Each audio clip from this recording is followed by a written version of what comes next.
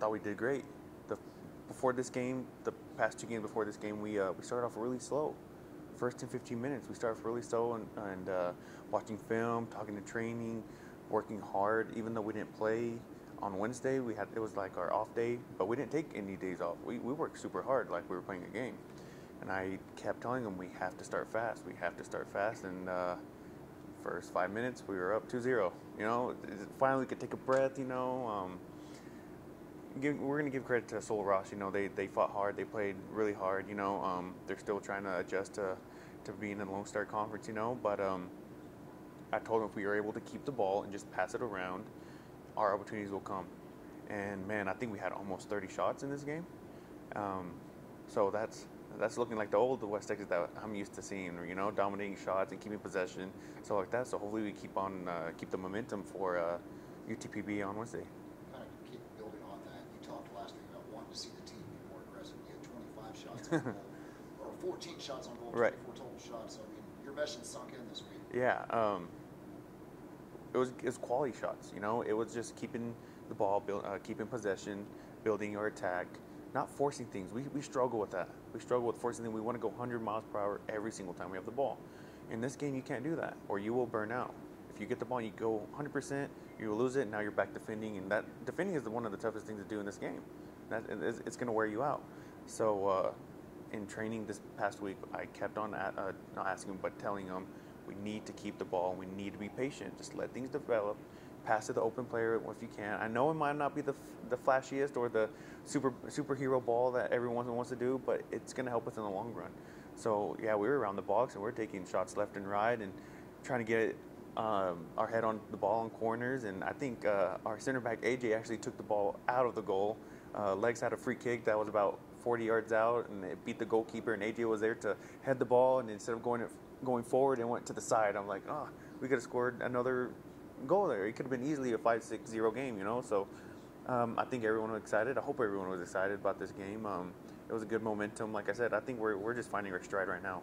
We're finding it, and I think it's a great time. It's about halfway through conference, and if you look at all the standings right now, we're only about like six points off first place. So anything can happen in this conference, and uh, hopefully we can build on that on uh, Wednesday. I wanted to ask you a little bit more about the defensive production. Um, they only had, I believe, three shots, five shots in the second half, um, and only three shots on goal, total. Talk about your defensive production. I know with the outcome, it's a little bit better than last week. Yeah, uh, it's a little bit easier for our defensive backs whenever uh, we're able to keep the ball and they're, not running at us every every single time they um, they get the ball. So. Uh, yeah, I think we did pretty well. There were some little mistakes here and there, but they were minor mistakes, not not uh, not like the past where we've given up goals and or they caused us some trouble.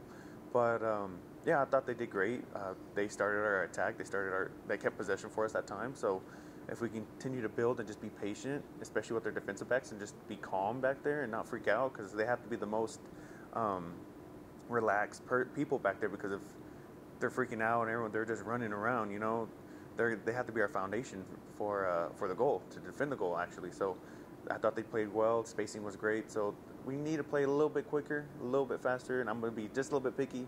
But I'm a coach, so uh, that's that's going to be my job. So if we could just play faster and just uh, stay more composed, then I think we'll we'll do great for the, the rest of the season. You're back at home this week. Talk about a little bit about um, what, how you're going to bring this momentum over. Yeah. So uh, we uh, play uh, UTPB on Wednesday. So uh, they're a team that that lives off momentum. They live off winning tackles and uh, enjoying enjoying that. So if we're able to keep the ball and just move it around and, eliminate the opportunities for them to to live off the momentum that they get sometimes, I think we'll just be fine. Um, we still have a little bit of a bad taste from last year.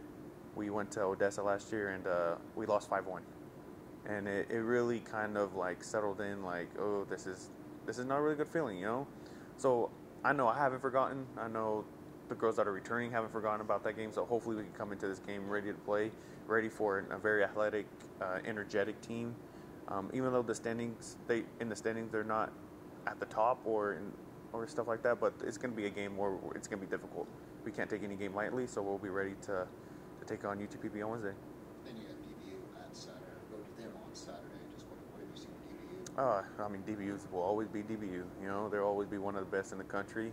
Um, but at the same time, uh, they have dropped some couple points. When I mean that, they haven't lost, but they have tied a couple games. So uh, I, I don't know what's going to go on in this conference. You know, we can we we're gonna have a game plan of uh, after Wednesday. We'll have a game plan of of a way to uh, eliminate their uh, offensive opportunities. But at the same time, uh, we just got to keep possession. We just got to stay calm, play our game, and if we do, we'll have a we'll have a really good chance of coming out with two wins this week.